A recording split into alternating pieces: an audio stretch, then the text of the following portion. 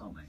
Yeah, I think there's a division in psychology. You've got, on the one hand, psychologists specifically looking at the sports performance and trying to enhance performance in the sports arena. So they help people go bigger, bolder, stronger, cross the line, and what the dynamics in terms of psychology are in crossing the line in that sports performance.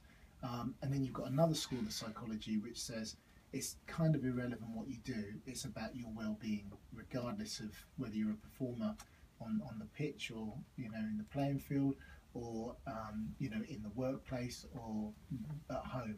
You know, it's, it's about you as an individual and how you tick and trying to understand that. So uh, it's kind of more mainstream psychology is my discipline